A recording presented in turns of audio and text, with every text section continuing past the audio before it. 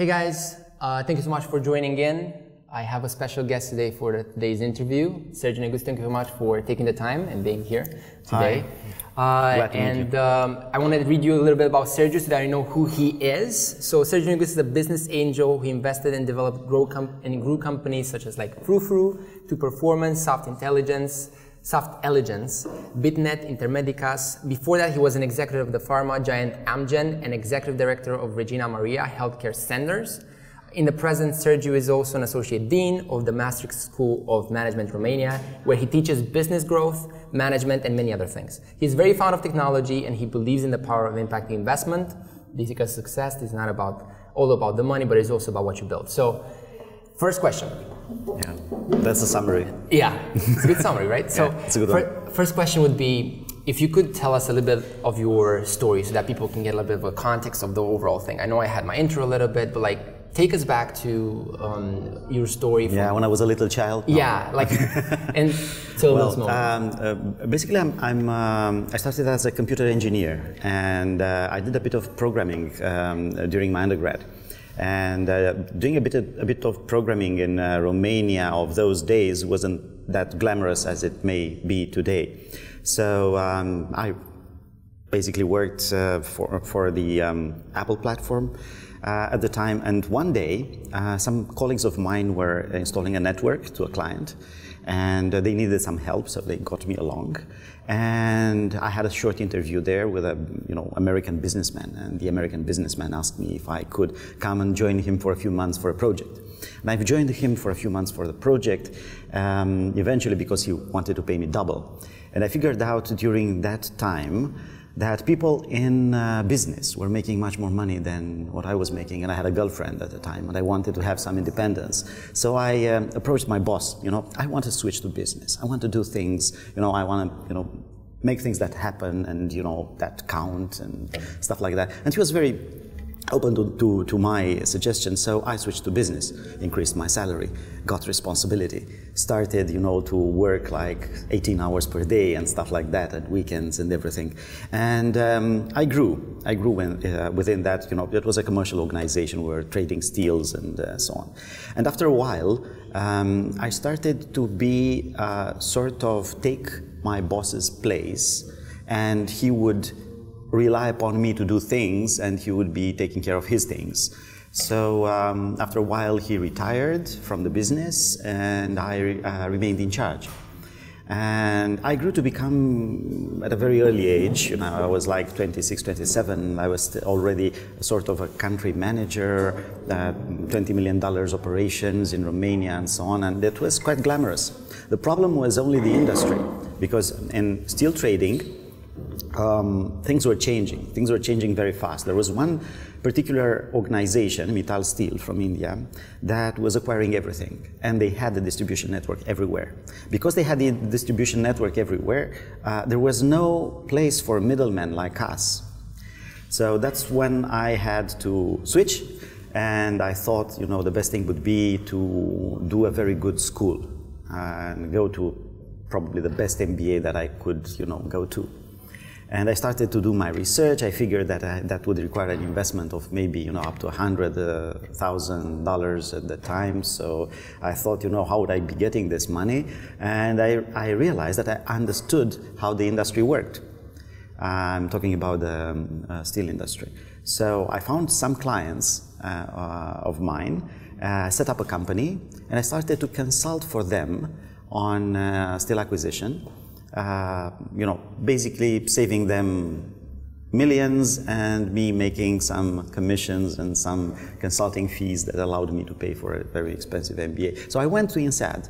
And this is the thing that actually changed my life. Mm. Uh, because I did my research on the uh, number of MBAs, went on, on site to, to three of them, one in the States, uh, two in Europe, and I chose, at the end of the day, I chose INSEAD.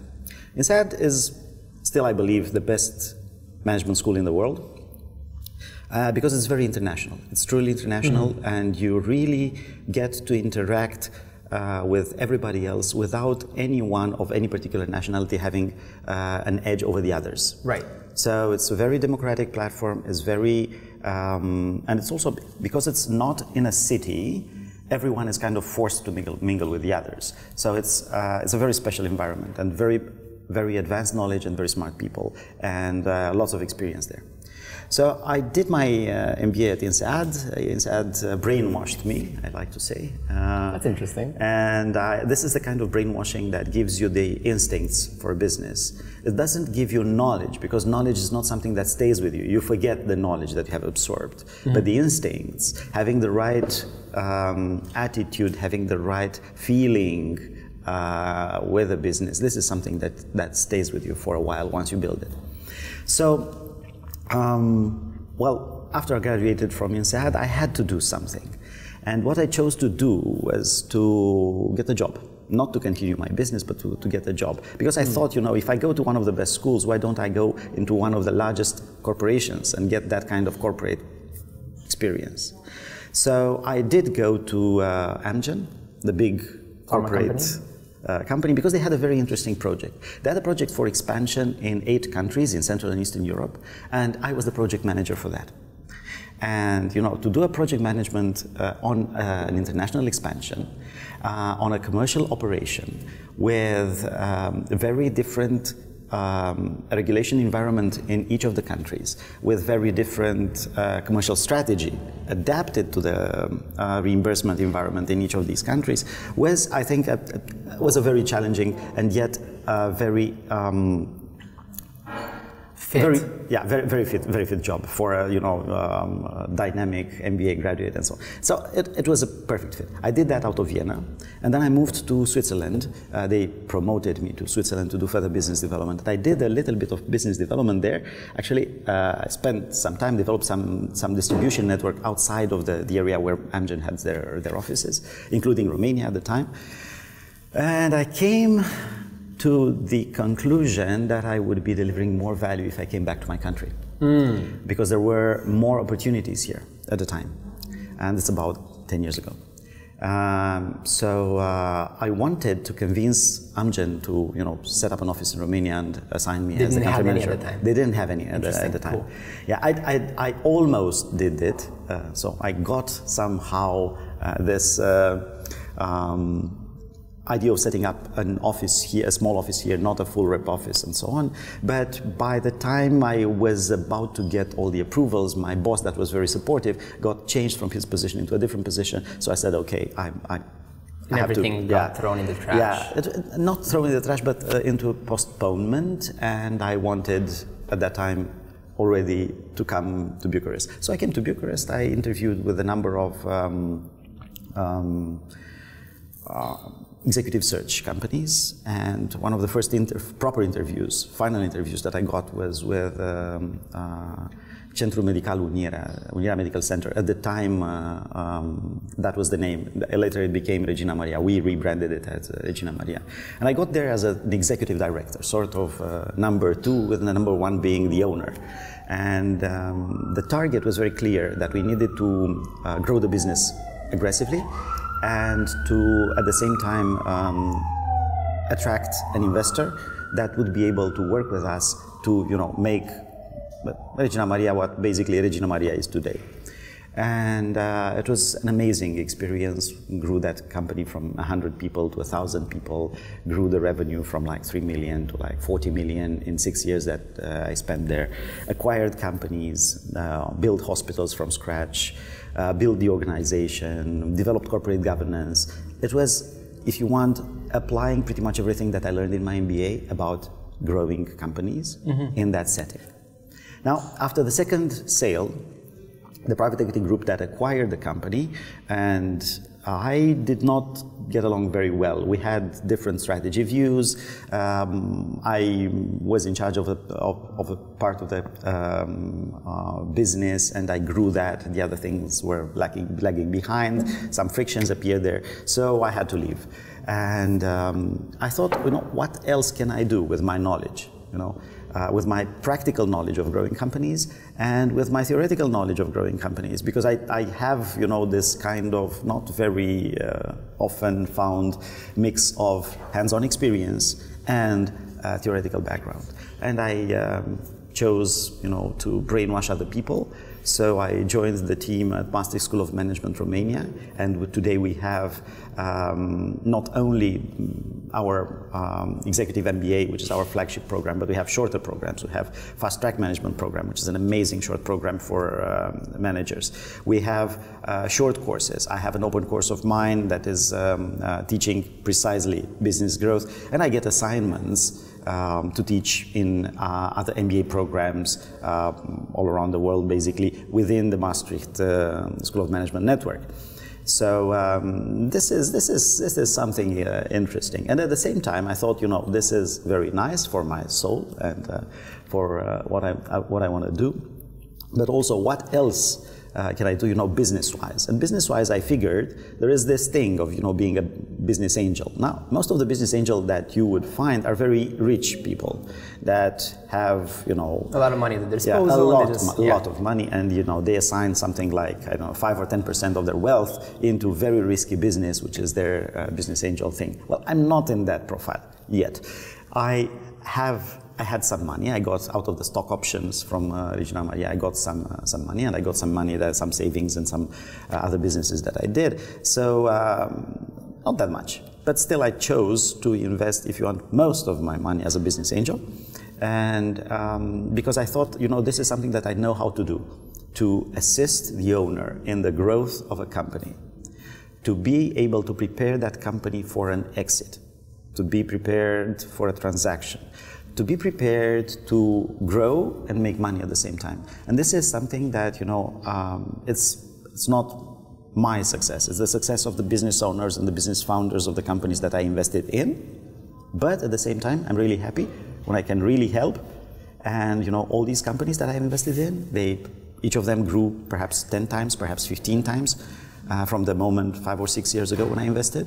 So um, I'm pretty optimistic that we can do many things. Really interesting. And this, so this whole story from since you went and started the MBA and then went to yeah. Amgen, like how long till this point? Like 20 years? Like how long is? Uh, it, well, it's wow, it's 15 years since my MBA. Right. It's 10 years since I came back to Romania. Right. Because the first thing I, I would like to discuss, and I think this is interesting, yeah. because I do have a lot of friends, and the first thing that I I do have lots of friends as well. Oh yeah, that's good, right? So the thing I've noticed and I, this is the first topic I want to touch on, is this matter of college and MBAs and everything else. There's like two sides, right? There's one mm-hmm. side like, oh, you don't need it for business, you just go and create your thing and whatever it is. And then the other side, like, oh, it really helps, like you're proof of that. And there's other people that are, a lot of people that are proof of that. So, yeah. what are your thoughts on actually getting a conventional college and MBA in business? Mm-hmm. Because I do think it's immensely valuable um, but what do you think about that? That's the first well, thing. I think it. I, th- I, think it depends a lot on the school, and I, I, think it depends a lot of the individual.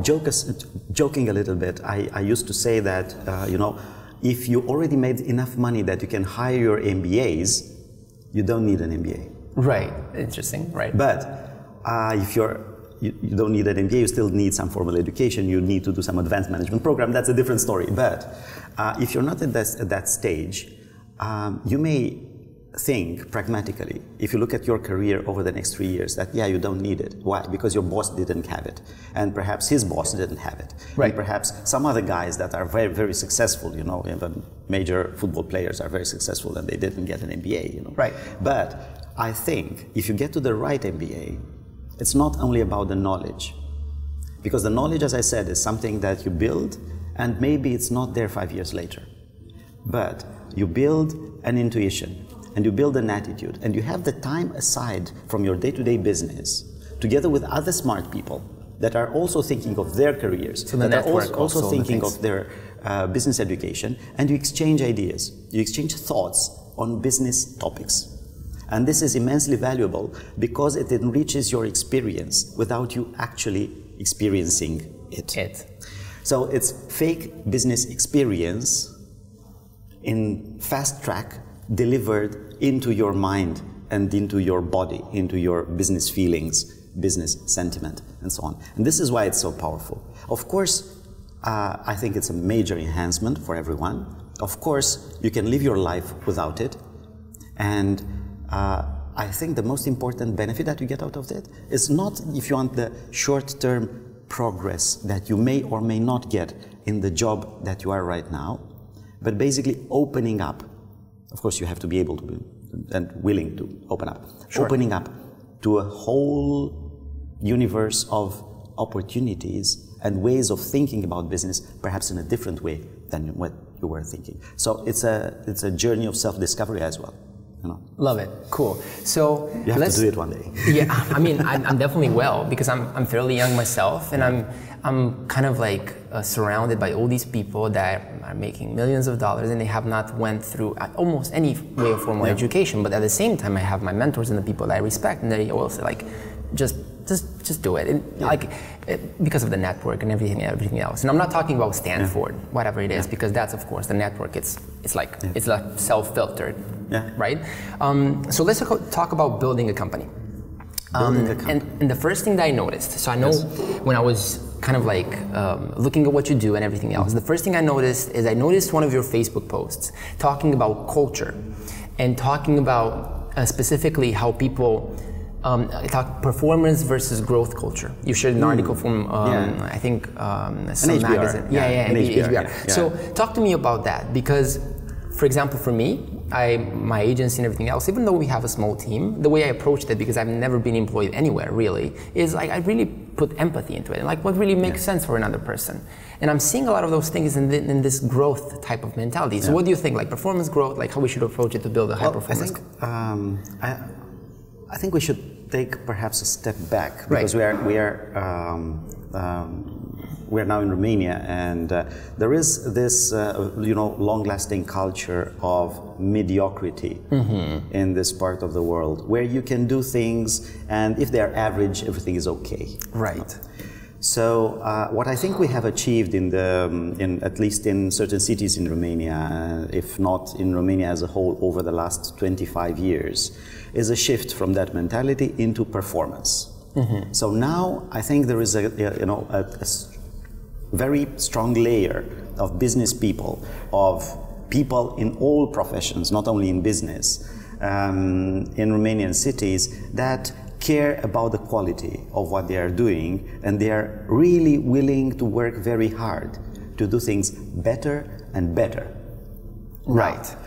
Better and better is often, and now I'm you know crossing the borders of Romania or Eastern Europe. Better and better is often better than your neighbor, better than somebody else. While in fact it should be better than you, you of yesterday. You of today being better than you of yesterday, you of today not being as good as the you that you're going to build for tomorrow. And this is a route. But this route is about performance, once again, is about having something and making it efficient. Right. Having something and making sure that, as in school, you get A Sure. or 10 in our European uh, marking system. So if you get that kind of, you know, best score, you're good. Now guess what? In business, if you get the best score, if you do very, very well, what was assigned to you is not enough. You have to do things that no one has taught you how to do. You have to initiate things. You have to distinguish between a good idea and an implementable idea.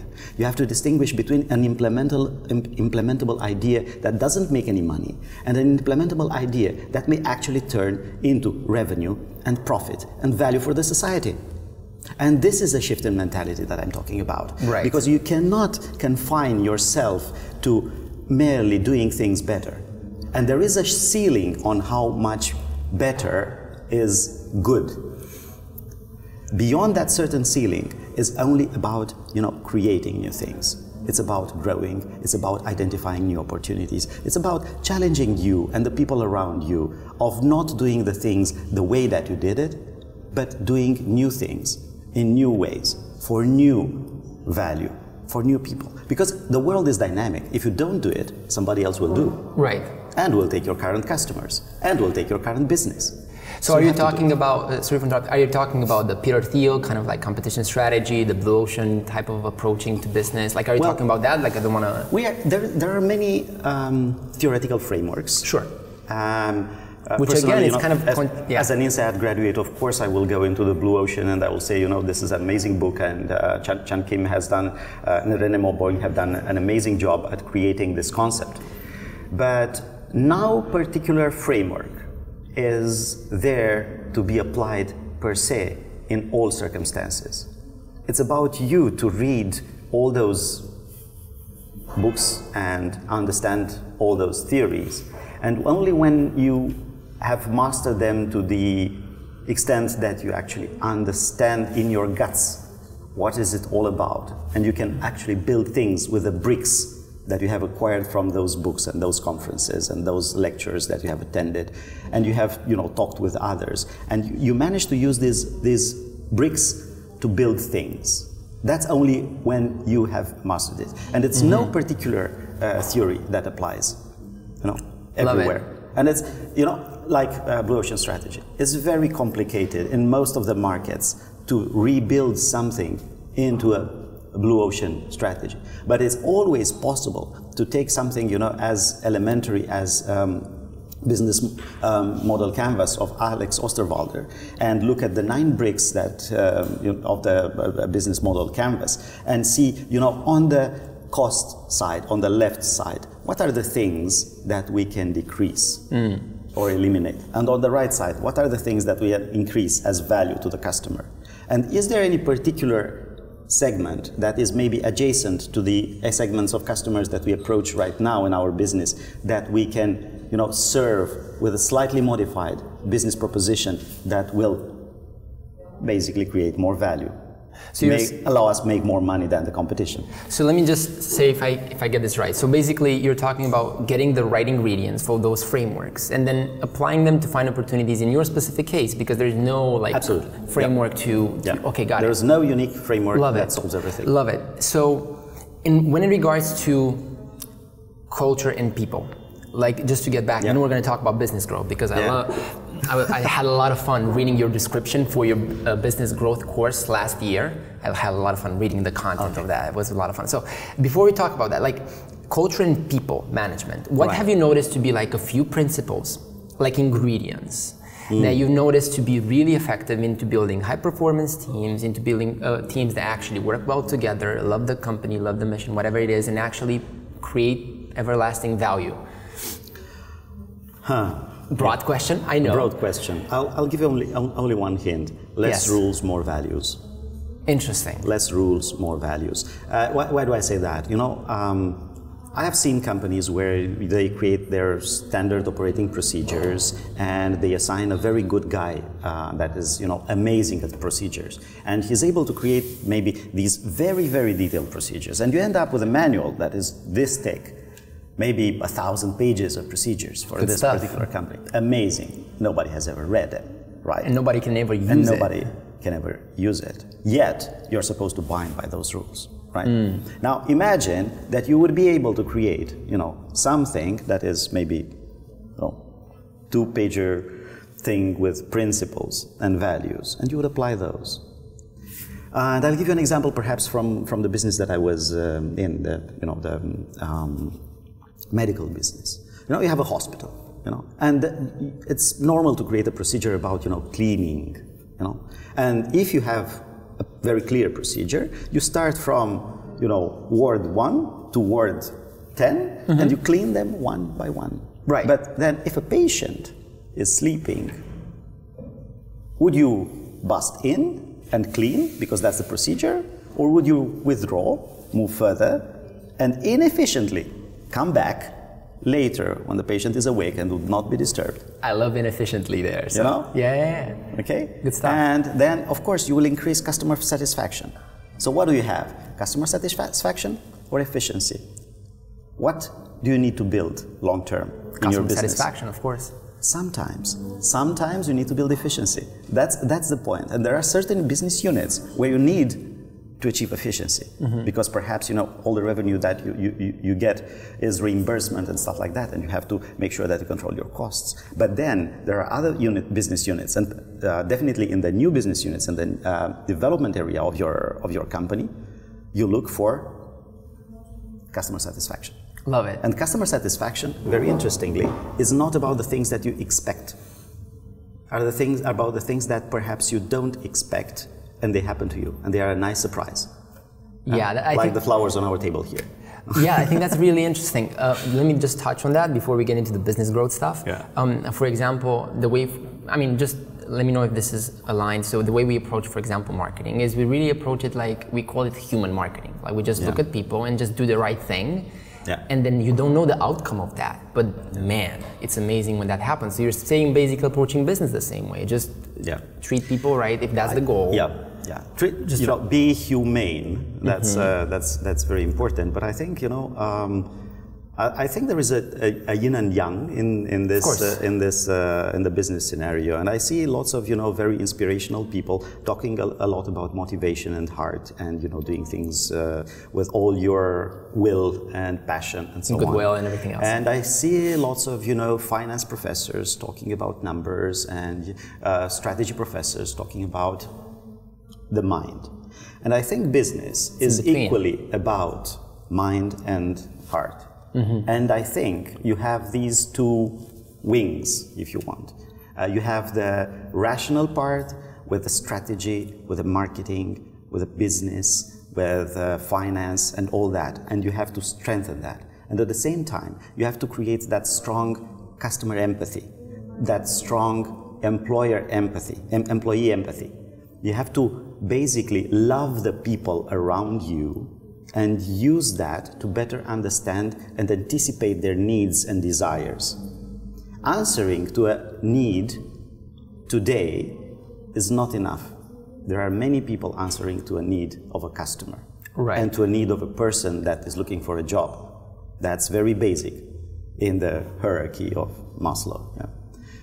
But going further, you know, creating a relationship with someone is about, you know, understanding desires, understanding needs beyond that superficial level. And this is about your heart, you know. So it's heart and mind, and they work together.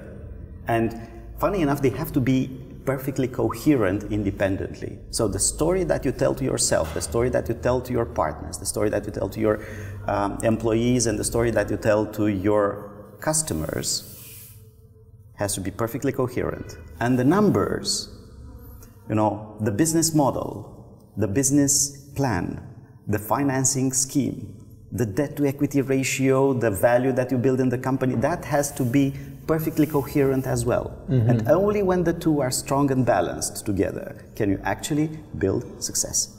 I love that. That's so good because I think there's like, like you said, there's like two kinds of people. One that really like, oh, it's all about heart, and the other people that are about numbers. And when you go in one of two extremes, the other one die, the other one dies, and it's, it's not going to be successful. So I really love that. Cool. So, business growth.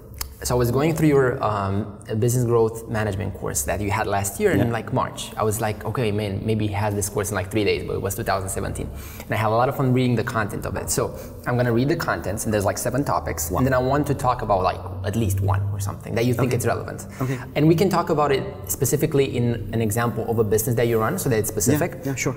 So uh, they had a lot more sense in Romanian, but we're gonna have some fun with them anyway. So first one is the priorities of the business, Right. um, which had ca să bine ca să nu fie which I cannot translate Yeah. that. I have no means to. Um, the base financial model, manufacturing size matters, development models, strategy elements, value chain, disruptive innovation, blue ocean, and other thick books. The Romanian, the thin Romanian version. I do not know how to translate Yeah. the, the river. Uh, growing pains and risks, agility, Scrum, Kanban, and other types of acceleration, and emotions and principles. Let's talk about one. You choose the one that you think is interesting if you want to see them, but you know well, them I, of course I know them.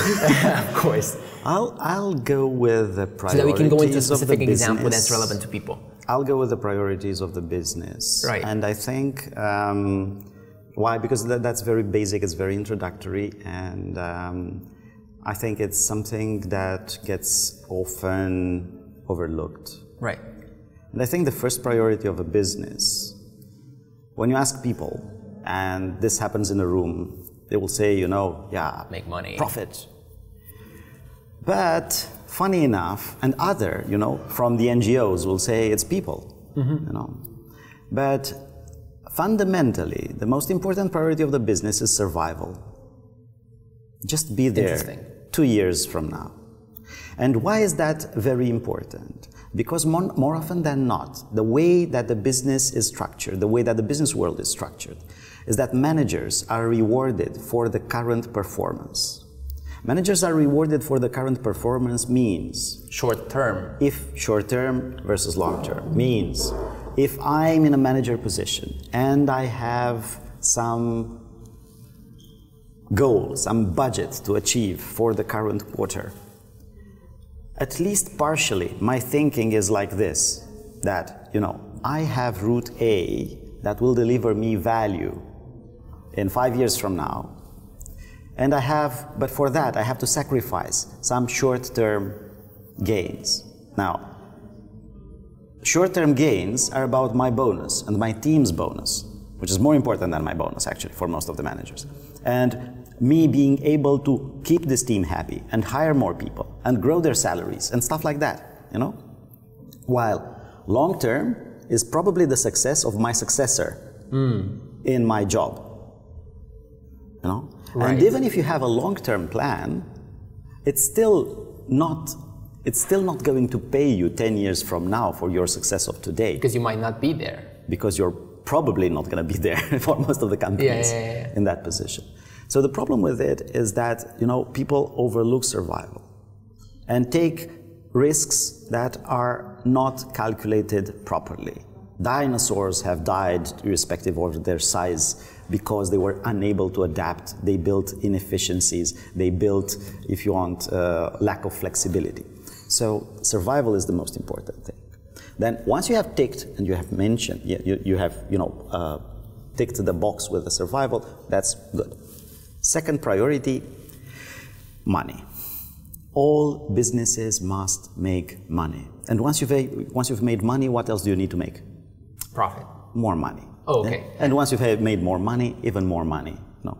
Because right. that's how you know business is is uh, structured. There is always an owner, um, or many other stakeholders that would actually demand you to make more money. That's the metric. I yeah, mean, that's that's, that's, how it works. You're supposed to make more money all the time, and I think this is there is something good in this, even if even if your business is in fact an NGO, because if your business is an NGO and your goal is to, I don't know. Have a million uh, people feed, have drinkable yeah, feed, water or whatever. Exactly, exactly. feed um, uh, poor people. You know, well, you have to be able to feed more people this year than you were able to feed last, last year. year. And that's about you know, fundraising, that's about mobilizing people, that's about you know, growing. And that is you know, when you measure everything, also about you know, growing in money or money equivalent.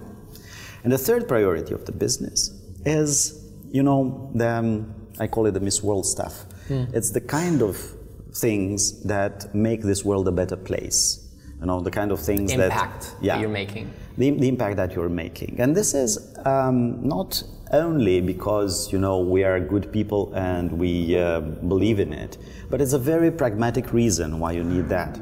In most of the societies in most of the economies people do not work for money. People work for money and something else.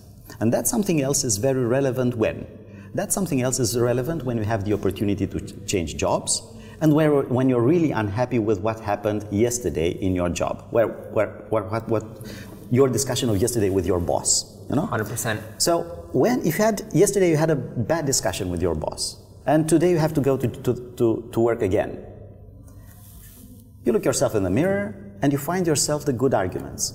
Very nice people, very nice company. It's about those team, team buildings that we do. It's about those social uh, visions and purposes that we have. It's about you know us hanging out together and you know going to uh, play soccer every Tuesday or having a beer every Friday right. together as a team. So I'm gonna kind of forgive what happened and move on.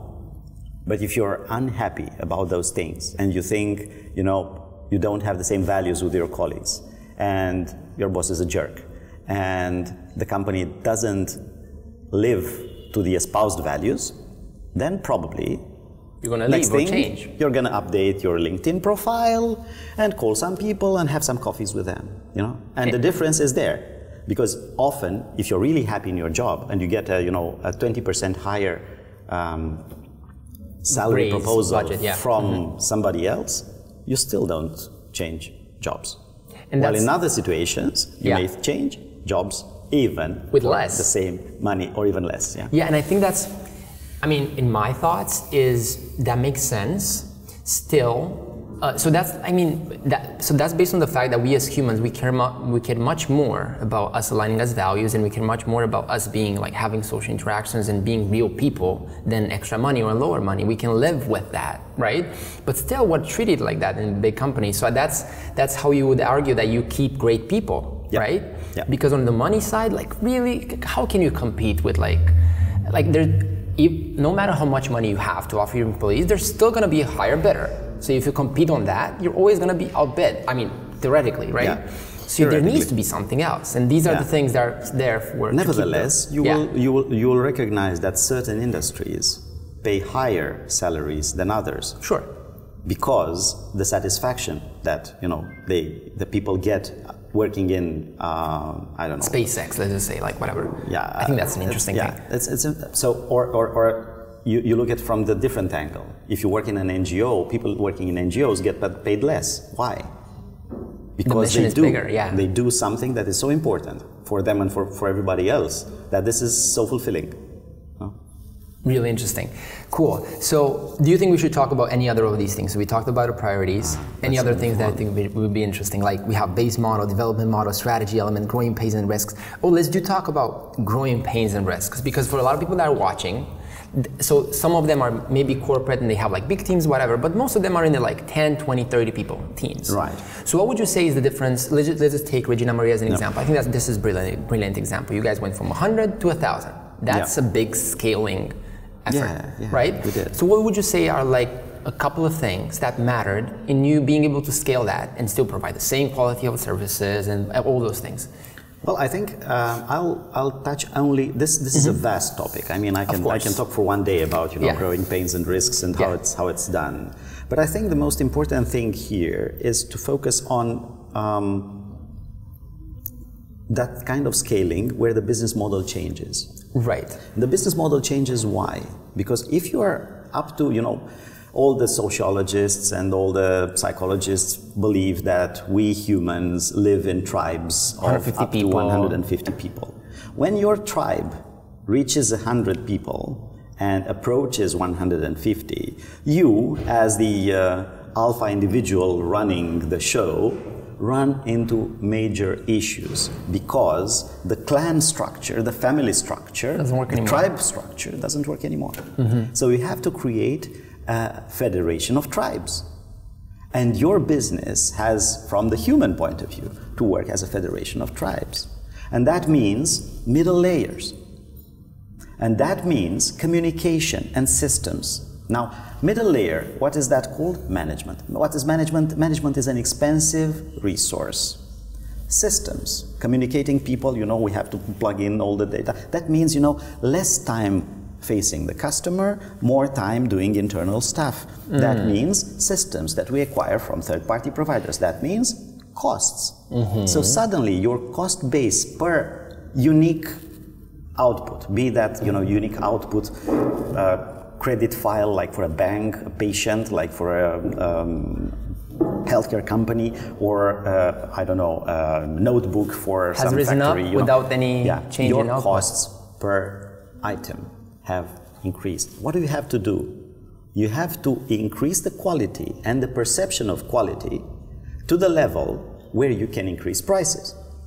Can you do that? Is the quality really going up? Hmm. One, once you, as the owner of the business, are no, is no, are no longer involved with The tendency is to go down. On right? the contrary, the more you grow, the more you have new people that have not been trained properly. And because the people were not trained properly, you have some quality flaws that weren't there in the past. So this is a very shaky situation. Right. This is a gap that you have to be very careful on how you handle and how you make sure you get the right people around you to help you bridge that gap. Right. But I can't go into the, the course. details of how you do that. Of course, but that's so interesting. That's so interesting. For example, I was looking at um, for example, I was looking at Facebook and the way they run their things, and I went into Menlo Park, and they have this like it's almost like Disneyland, really. And they, there's like 20,000 people there, and you imagine how are they doing it? These people seem so relaxed.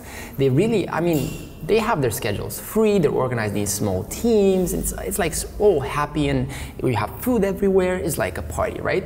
Um, and the reasoning I ended up on, and I, again, I've not analyzed the whole thing, but it kind of dials with what you're saying, is because they're a software company, because they, their, their output per resource is so high, yeah. their earnings per employee it's, are so high, they can afford to do that. It's not like, oh, we need two more products, let's hire 2,000 more people. No, we can do it with eight yeah. people, and it's going to be a scaled result based on the yeah. same output. So, like, that makes so much sense. And in, in a normal company like uh, your healthcare centers, that's like you're you're limited. But this is this is a very different situation. Right. The unicorns, or actually some of the unicorns, right. um, are in the status of the winner takes it all. Right. You know, and if you're the winner takes it all kind of platform business, the rules of change, you know, economics, and everything else are not exactly the same for you. Right. So you do things completely different. You live in a virtually in a different ecosystem. You're where you are the big whale, and everything else around you is plankton.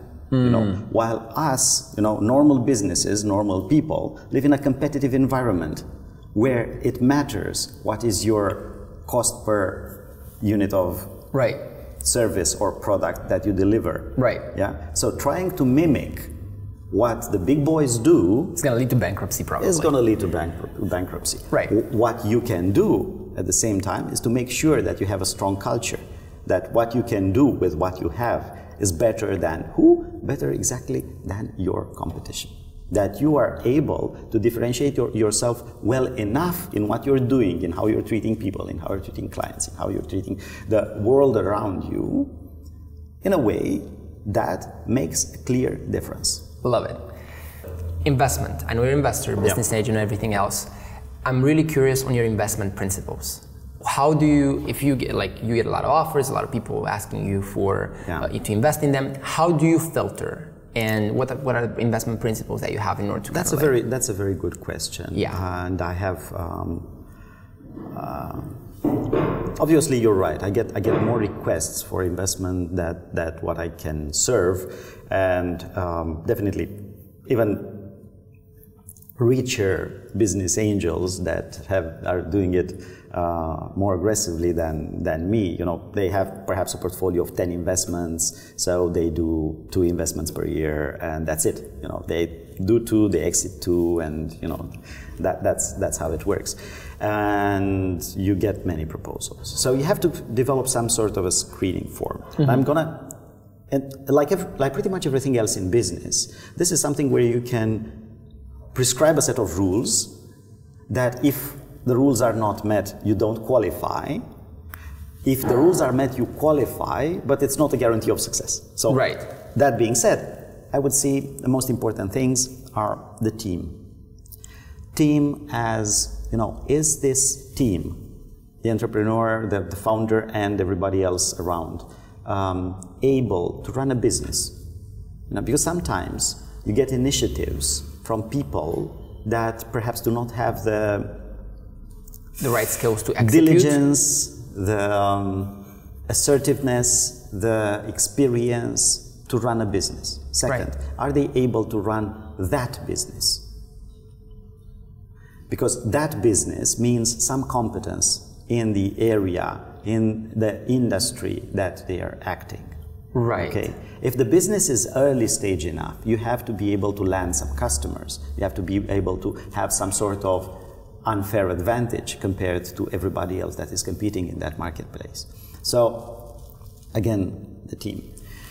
Um, you, um, you as an investor or me as an investor, what can you bring have, to yeah, I have to bring something to the to the table. So yeah, if you come to me with a proposal and you only need my money, I'm probably not going to give it to you, because unless I can put my brain into it and understand your business model and be able to give you some advices that will be good for your business, then probably I'm not going to be there. And you're better off with a bank, right? In that sense. Yeah, sure.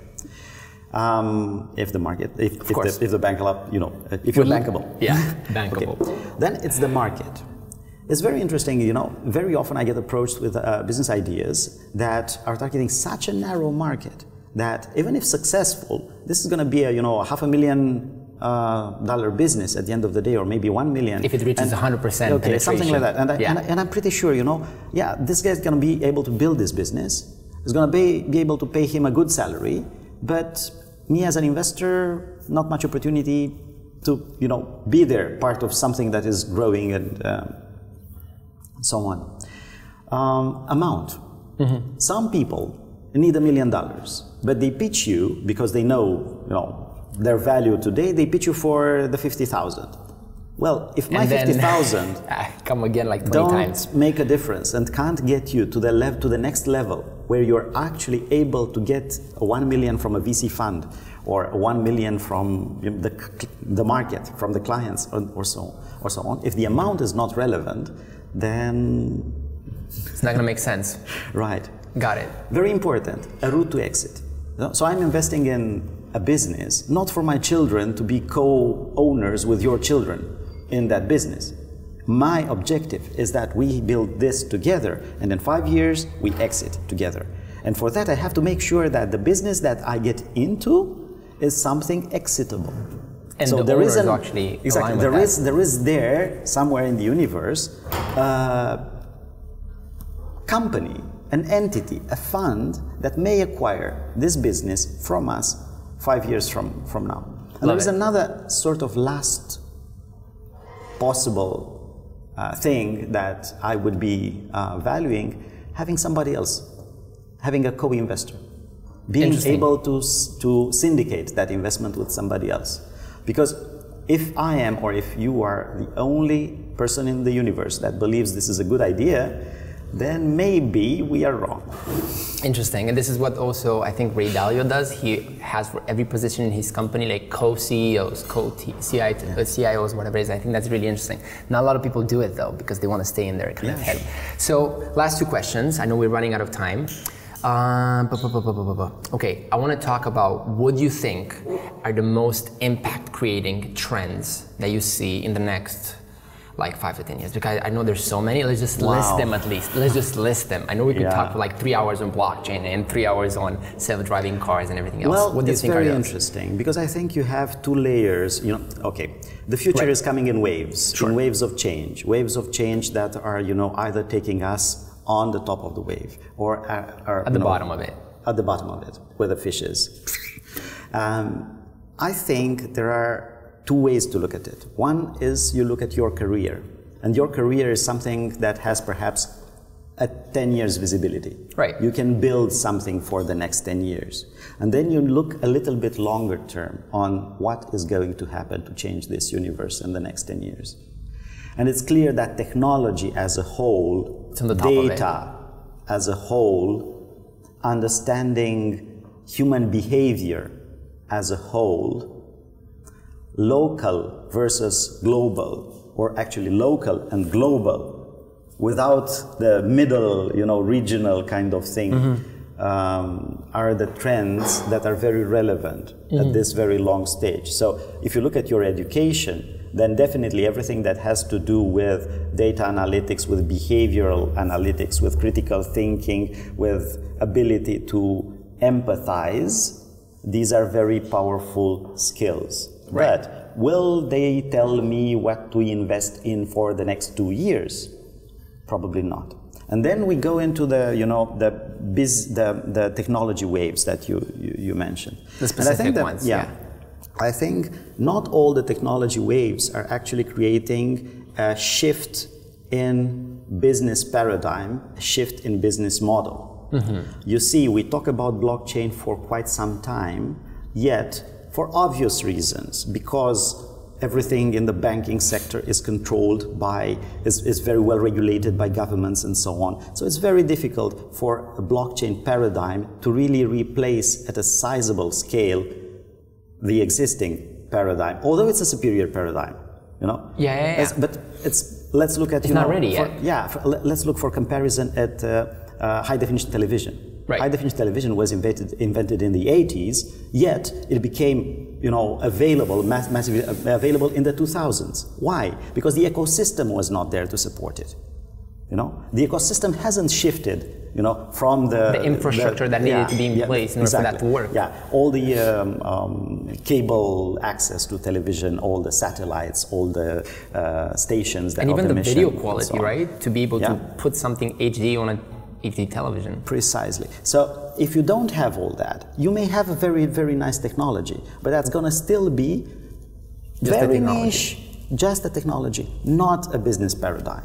Right. So in business, we have to judge what is going to be impactful at business scale over the next three years. And here, of course, I have some certain certain preferences, but it's clear that in technology, again, if I look at data analytics, one way or another, a bit of, a bit of, not a lot of, a bit of artificial intelligence, machine learning. I think we're going to see a lot more of, of that over the next 10 years, but we are going to see already applications that are going to make money over the next three years. I'm going to see um, this shift, um, it's actually a shift that is at least 10 years old of people wanting a longer, healthier life. Mm-hmm. So longevity so this is about, you know, simply, you know, gyms and uh, uh, sports apparel and sport apps and healthy living and uh, good quality food as opposed to rich food and natural and bio and all this thing. Um, there is a trend for uh, regional community-based services and uh, brands. Right. You see all these hipster communities, they all grow to the level where they represent a relevant segment of the market. What's important is to differentiate, is to have our local brands that are not the global brands. And that's why you see a ma massive offensive of the global brands acquiring rather than eliminating lots of small local brands. So these are the waves, and not all of all the waves are linked to technology. All the waves are linked to the way we as consumers are perceiving technology and to the way that business can adopt and shift easily from an existing paradigm to a new paradigm. I love it. That's so well explained. So well explained. Simply put, it's. I mean, you can obviously see they have a technical background, so it makes sense. Cool. Um, last question. When you're going to be 92, Okay. uh, what would you like the world? I, two years probably. Or I mean, 92 is probably going to be in a new 20, right? With longevity and genetics and everything Ah, else. So okay. when you're going to be 92, what would you like the world to remember you by? Quote unquote, like what's the impact you want to create in the world so that people can remember you by Oh, that? I'm uh, no, I don't, I don't have that uh, you know uh, picture, heroic picture of myself. I just want to uh, you know the people that I interacted with, Right. or most of the people that I interact with, to be able to have a slightly, slightly better life and slightly, slightly more optimistic view about their own abilities after we have interacted. That's and that's all. Because I think if we do this, you know, you, know, the uh, multi-level marketing kind of thing, you know, if we create a multi-level marketing In a good way. process of good deeds at Scale. very, very, you know, each of us within our area of influence. This program of yours with the followers that it has. Me, with the people that come to attend my conferences and my classes, and people that are my partners in my businesses.